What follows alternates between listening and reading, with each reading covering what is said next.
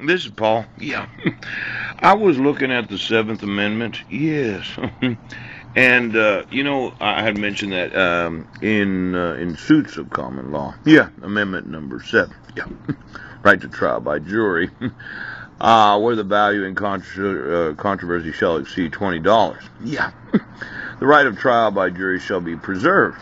Yes, yes, yes. But amendment number six is the right to speedy trial, witnesses, etc. All criminal prosecutions, the accused shall enjoy the right to a speedy and public trial by an impartial jury of the state and district wherein the crime shall have been committed, which district shall have been previously ascertained by law.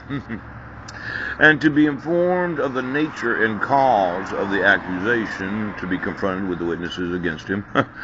uh, to have compulsory process for obtaining witnesses in his favor, and to have the assistance of counsel for his defense. Yeah. now, I never waived my right to, to, speedy trial. Yes. In fact, I, I had emailed my public defender. I said, well, could you explain exactly what speedy trial means? And uh, I want to have witnesses that uh, I was at uh, AA that morning, or I was at the library, or these types of things. But then I'd actually thought about something else. What was it that I wanted? Oh, I wanted to know why it was that there was a protection order issued against me that the petitioner didn't sign. Yes! And uh, as a respondent, I wasn't served. Right. now, I had emailed my.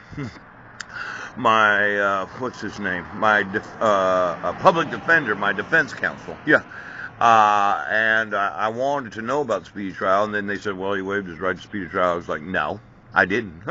I wanted to have the trial on the 4th of April. Yes.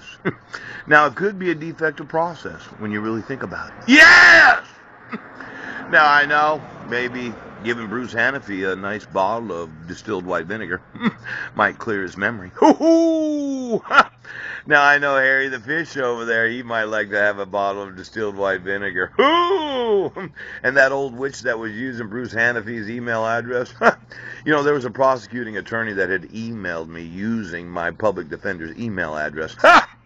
In fact, if I went through every communication from Bruce Hanafy, I asked. to ask myself, did Bruce Hanafy actually ever email me or anyone else? Ow! Now I know there's this thing about typing through somebody else's body, pow pow, but uh, I noticed the differences in writing. Oh, in fact, I, I thought Judge Porter was on me at one point, and maybe he'd like a bottle of white distilled vinegar. Fuck off! And uh, you know, it's on the house, a couple bucks. Ah! Now I know that my my right to speedy trial was not waived. In fact, it's the exact opposite. I sent an email wanting my public defender to explain that. then I wanted to investigate every person involved in the issuance of the protective order that didn't have a petitioner or didn't have a respondent. Yes. Now, for some reason, I never seem to get any emails from my actual public defender, Bruce Hanafy. Yeah!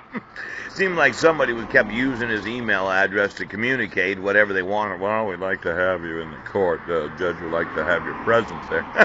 I emailed them, well, what should a citizen respond when a judge requests his presence? Yeah!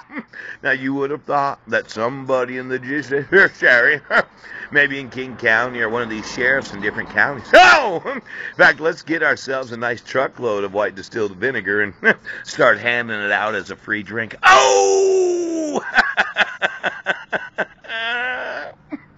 Might clean you right out. Boom!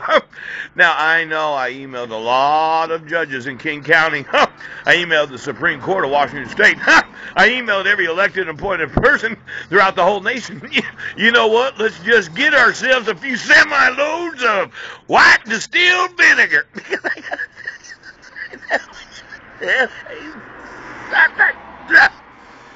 Now, when I have a compulsory process to get witnesses in my favor, and I'm kind of one of these types of guys that say, well, I'd like to have the commissioner explain why he signed the document. I'd like to call Heidi Budnek to the stand. Can you explain why you didn't sign this? Ow! In fact, can you explain why I wasn't served? Ow! In fact, can you explain why my right to a speedy trial was was violated? Ooh! In fact, could you? Can you explain my my You know, could somebody get every email address from Bruce Hanafy's email? and find out who the fuck it is that was typing his emails. Who? Because somehow I think they were violating my right to defense counsel. Ho!